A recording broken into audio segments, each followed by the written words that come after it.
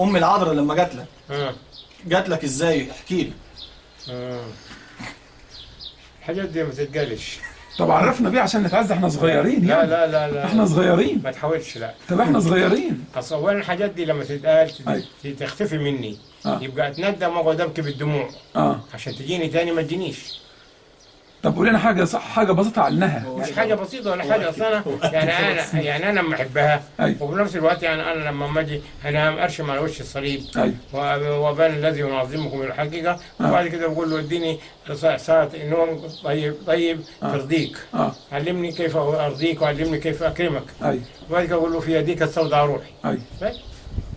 وفي اللحظة دي بقى جت العذراء لقدسك بقى. آه يعني. آه آه. جت وقالت لك سلام وقلت لها سلام وخلاص. ما قالتلكش أي حاجة تاني؟ يا. بتحب العذراء قوي قدسك يا أبونا؟ طبعا. دي أمي. وهي أم الكل يا بالظبط هي اللي بتحافظ علينا. هي اللي بتحافظ علينا. خلاص.